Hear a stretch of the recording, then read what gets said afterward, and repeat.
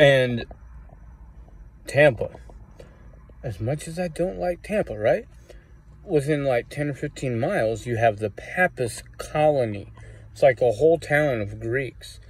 And they have a lot of, like, you know, it's like a tourist attraction.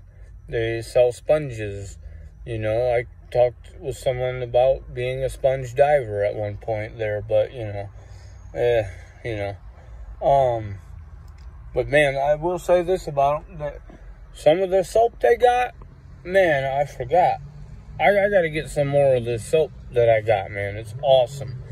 Like, dude, it is just awesome. It's it's I love it. It's like three or four dollars a bar, but you know what I actually do is I'll wash with other soap, and it smells so good. I'll I'll just kind of do a top coat with the good soap, you know.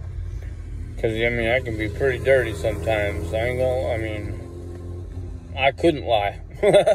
uh, but, you know, get all the, the, the filth off first and then use the good soap and smell real good.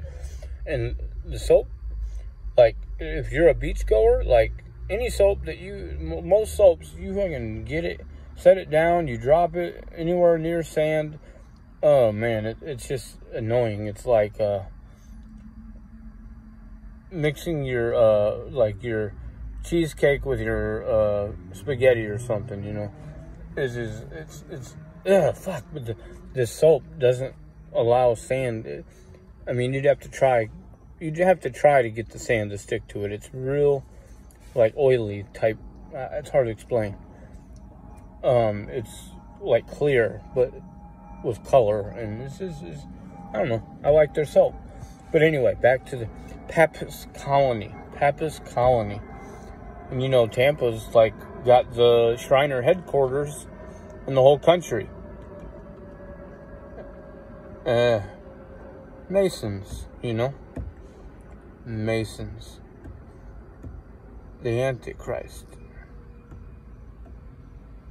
Uh huh.